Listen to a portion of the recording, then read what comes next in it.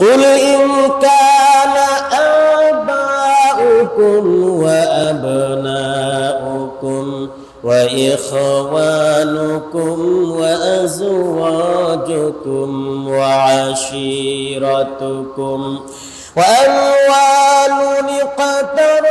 اقترفتموها وتجارة تخشون كسادها ومساكن ترضونها أحب إليكم من الله ورسوله وجهاد في سبيله فتربصوا حتى يأتي الله بأمره والله لا يهدي القوم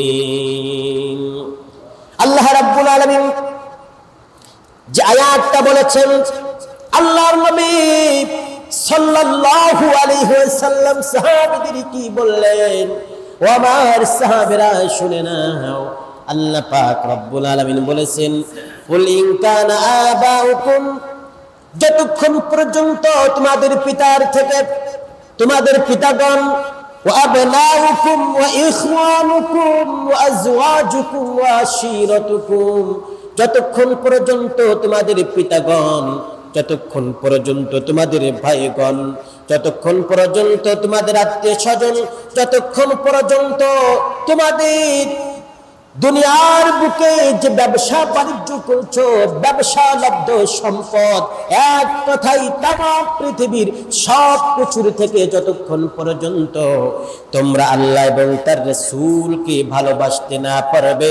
ততক্ষণ পর্যন্ত তোমরা ইমানদার হতে পারবে না। চূড়ান্ত কঠিন কথা। পক্ষান্তরে বিশ্বনবী সাল্লাম বলেছেন আর এই দুনিয়ার সব কিছুকে উপেক্ষা করে, সব কিছুকে আলাদা রেখে, এক পাশে রেখে আল্লাহ এবং তার রসুলকে যদি তোমরা ভালোবাসতে পারো, তোমার জীবনটাকে যদি সত্যের পথে পরিচালনা করতে পারো, আমি বিশ্ব নবী আল্লাহর পক্ষ থেকে তোমাদেরকে সুসংবাদ দিচ্ছি বলে সুবহানাল্লাহ। আল্লাহর নবী সাল্লাম থেকে এমন সুন্দর সুন্দর বাণী শুনছেন যখন সাহাবীগণ। আর এমন একটা সময় যখন এলো, এক পর্যায়ে আল্লাহর নবী সাহাবীদের সামনে বসে আছেন। একটু মাথাটা নিচু করে বসে আছেন। কি যেন কি চিন্তা করেছেন? এমনি সময় আমরা তো জানি সাহাবিগণ আল্লাহর নবীকে এত মোহাব্বত করতেন, এত বেশি ভালোবাসতেন। কখন আল্লাহর নবী খুশি আছেন আর কখন আল্লাহর নবী একটু চিন্তা যুক্ত আছেন। আল্লাহর নবীর মুখের দিকে যখন বলে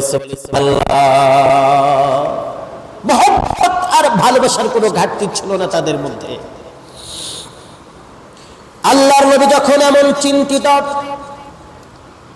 সাহাবীদের ভিতর থেকে আল্লাহর নবীর কাছে জিজ্ঞাসা করা হলো, হে রাসূল, নবী গো, আপনার দৃষ্টি, আপনার চেহারা মুবারক, মুবারকের দিকে আমরা যখন লক্ষ্য করছি, দেখছি, হে রাসূল, আপনি যেন কি চিন্তা করছেন, আপনি তো বড় চিন্তিত অবস্থা।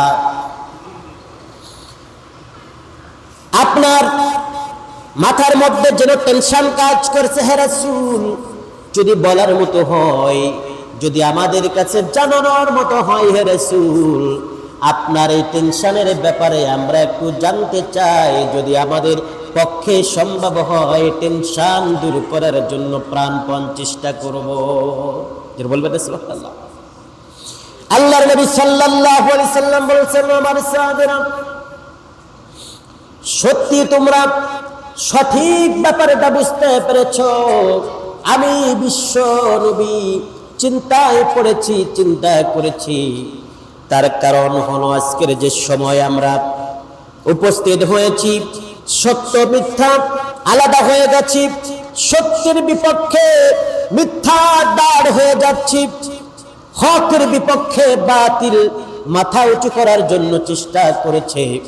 আমি এখন কথা ভাবছি যে কেমন করে বাতিলের বিপক্ষে সত্যকে দাঁড় করানো যায়। কেমন করে বাতিলকে চিরতরে ম্লান করে দিয়ে, শেষ করে দিয়ে তাম পৃথিবীর মাঝে স্থায়ীভাবে হককে প্রতিষ্ঠিত করা যায়। আমার সাবির এমনটা আমি চিন্তা করছি, তার কারণ হলো যে কোনো মুহূর্তে আল্লাহ পাক রব্বুল আলমিনের পক্ষ থেকে আদেশ আসার সাথে সাথে আমাদেরকে কাফেরদের বিরুদ্ধে ঝাঁপিয়ে পড়তে হবে দুনিয়ার বুকে দিনকে প্রতিষ্ঠিত করার জন্যে।